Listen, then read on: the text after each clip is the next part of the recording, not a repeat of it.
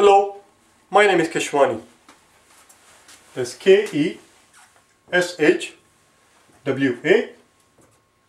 Keshwani. We are here because we want to prepare for the GRE.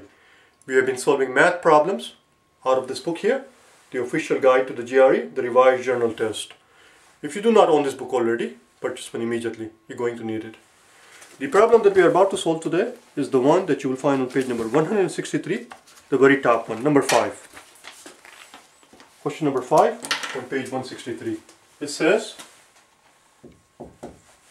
it says, which of the following is the class which of the following is the closest to the average of the nine changes in the value of imports between consecutive years from 2000 to 2009.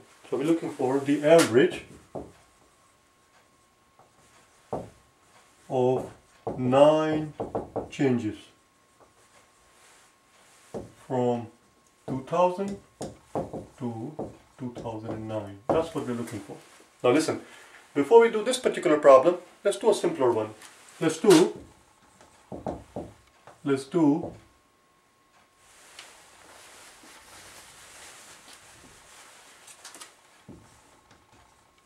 let's first do a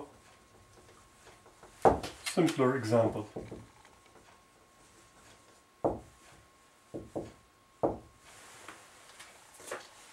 Let's do a first simpler example. I'm going to give you six readings. There are six observations. Six observations are given.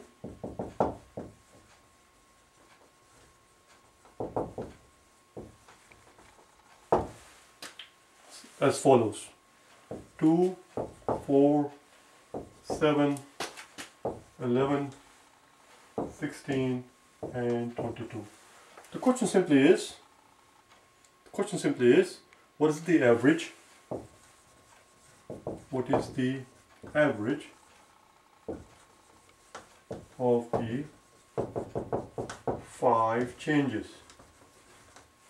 Which makes sense because there are six observations, we have five changes. For example, if I go from 7 to 11 to 15, but there are three observations, but there are only two changes. A change from 7 to 11. How much is change from 7 to 11? You take the 11 minus 7, not 7 minus 11. You take the final number and subtract from it the initial number, which means 7 changed by 4. 7 changed by 4 became 11. Well, this was a silly example because this also changes by 4. But you get the idea. If there are three observations, we'll have two change, two changes. If we have 10 observations, like we do in this example, we'll have 9 changes. In this particular example that I just gave you, there are 6 observations. Let's find the changes. There are going to be 5 changes. Let's find the changes, shall we? The changes are as follows. From 2 to 4 is a change of 2. From 4 to 7 is a change of 3. From 7 to 11 is a change of 4. And from 11 to 16 is a change of 5. Oh my god, this is getting spooky. I wonder what the next change is going to be. And from 16 to 22 is going to be 6. And now we have to find the average of these five numbers. And you can do that on your own if you want to, but you don't have to do anything because the numbers are consecutive. The average is going to be the middle number. Here, the average of the five changes. Here,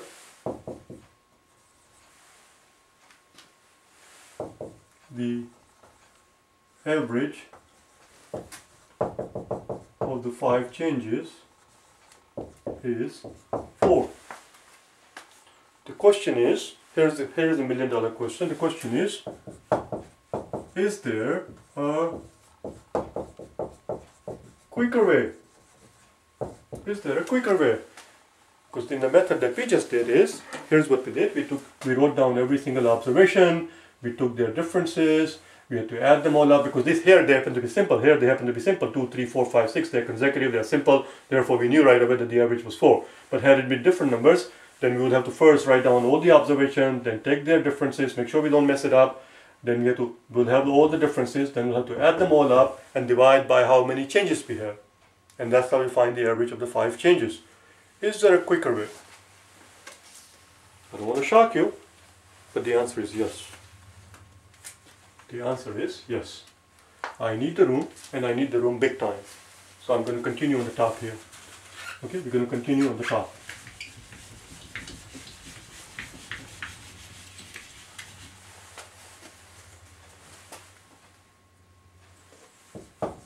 Answer is yes. This is how we do it. How do you find the average of anything? If you have a whole bunch of numbers, if, if I give you six numbers and if I ask you what is their average, what do you do? Well, you well, I was going to say you add them up and divide by number of number, which is what we just did here. The quicker way is this. The average of the five changes, Uh, average of the five changes is, now here's the thing, watch what happens. Okay, I'm going to show you here, that's exactly what happens. So one more time, if, if, if I give you five numbers and if I ask you what is their average, what would you have to do? You will add them all up, listen carefully, you will add them all up, 2 plus 3 plus 4 plus 5 plus 6, there are 5 of them, and you will divide by 5. 2 2 plus 3 plus 4 plus 5 plus 6 and there are since there are 5 of them you will divide by 5.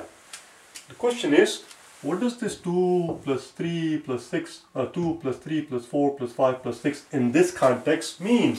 What does it mean in this context, in the context of this problem? In the context of this problem, all of these numbers, when you add them up, all of these numbers, when you add them up, what they actually represent is the total change. That's what it is. This is a change from 2 to 4. This is a change from 4 to 7. This 4 is a change from 7 to 11. So if you add up to all the, all the changes, that's your total change. Divide that by the number of changes. So let's do that, shall we? How are we going to find total change? Total change, how do you find total change? It's very simple. Total change is simply the final number minus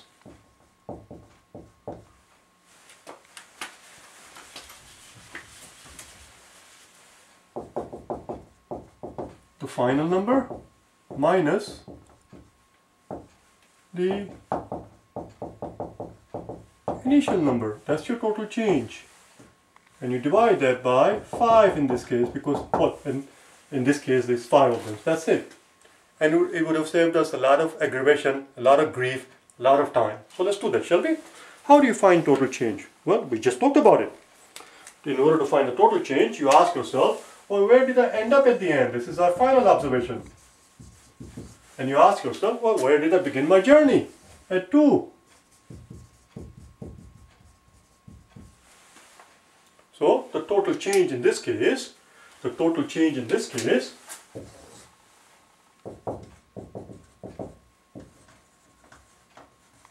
in this case is the final point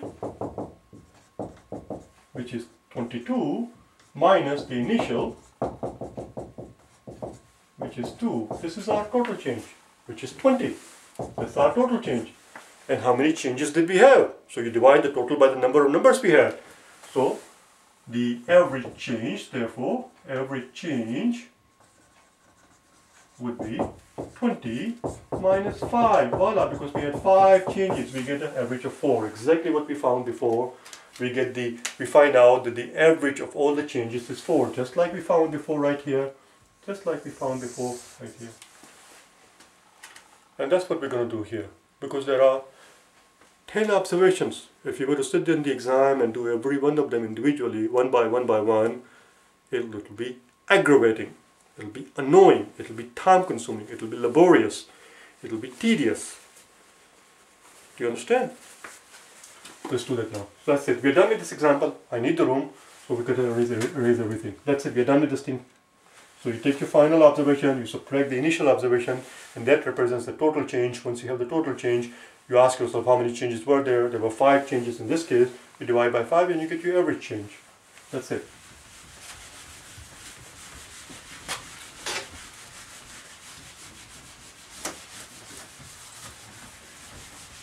I know I'm being repetitive when I tell you this thing that I go at a very leisurely pace in these videos because I like it that way. The purpose, as I explained to you on the first day, is not for me to stand here and uh, solve problems after problems if that's what you wanted, if, if, if all you wanted was to watch some nerd, some freak, some geek on the blackboard solving problems after problems, there are plenty of videos like that. I'm, we are here to learn.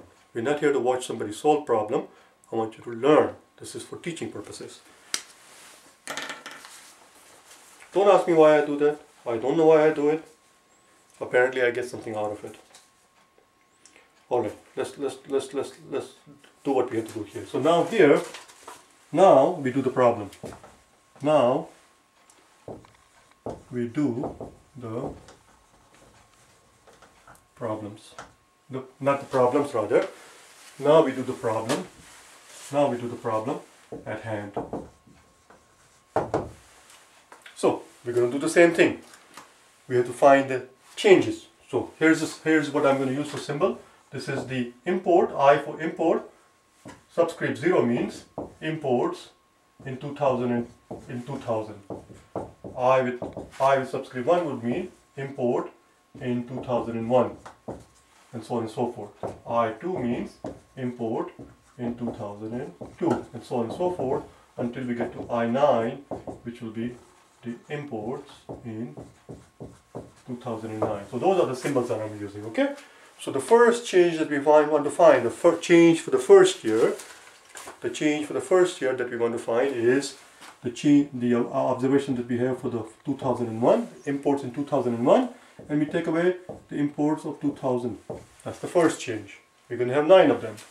The second one, we take the imports of 2002 and we take away the imports of 2001. The difference of imports in 2002 minus the imports in 2001 tells us how much the import changed from 2001 to 2002.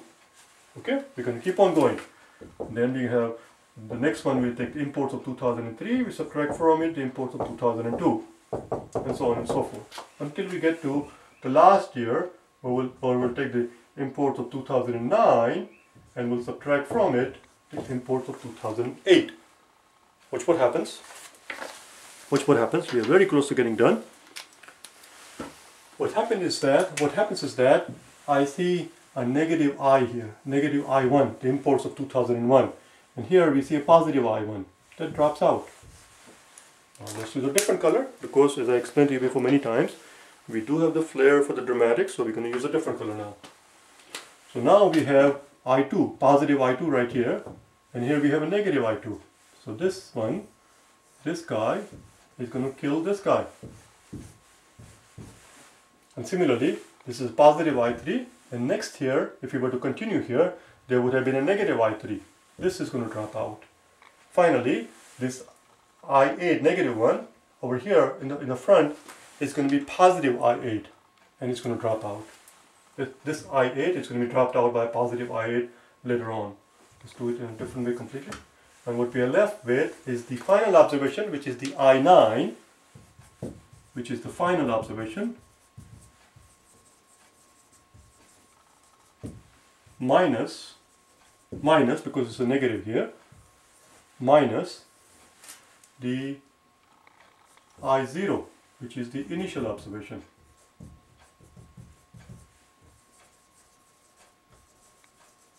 Voila, which is what which is what we've been talking about all along. Voila, that's it. And that final observation minus the initial observation is your total change. You see what happens? That's your total change right here, total change. Now all you have to do is divide it by the number of changes and we have 9 changes and how do we know we have 9 changes? Because there are 10 years. If there are 10 years, we are looking at 9 changes. So let's first find the total change, shall we? And for that you have to look at the graph, okay? Then I cannot do it for you. I9, which is the imports in 2009. Do it with me. Imports, imports in 2009. Look at the graph and tell me what the imports were for 2009 looks to me like a, I cannot tell whether it's an 8 or a 9. It's a 9 billion. So this, this final observation, the imports in 2009 is 9 billion minus, what is the initial observation? Which is the 2000 and in 2000 the imports are little over 2. Sorry, little over 3. You see, I almost made a mistake. It's little over 3. The, the line is between 2 and between 2 and 4 and that is, is little over that line so it's little over 3 so I'm going to write that as 3 plus. Okay keep listening. So something that is 9 9 minus something more than 3 that's how you read it 9 minus something more than 3 is going to be little under 6 it's going to be little under 6 that's our total change. Therefore therefore the average change over the nine years. Therefore, the average change average change over the I, shouldn't say average change over the nine years, average change over the 10 years, but we have nine changes. Therefore, the average change equals the total change, which is little under 6, change over the number of changes. Total change is little under 6. Number of changes we have is 9. So something less than 6 over 9 is going to give you something little under 2 thirds. Something little under 2 thirds. I hope you can read that far. Now I'm going to continue this part here. Let's do it this way and we know that uh, two-third, little under two-third of a billion dollar is going to be approximately a billion dollar is a thousand million. A thousand million and two-third of a thousand million is going to be approximately 660 660 million dollars. 660 million dollars so as you can see we just took the difference between the final and the, and the initial. We did not actually we did not actually take all the changes individually and add them all up and divide by 9. That would be too much work. So that's it. Approximately $660 million, whatever, whatever the hell that comes closest to it, that's the answer. 640 is what I see there. That comes closest to it. The answer is E. The answer is E. That's it. We're done. It took a while, but that's okay. It took a while, but that's okay. Hopefully, if you see something like this in the exam, you'll remember this exercise. Okay? I'll see you tomorrow. Bye now.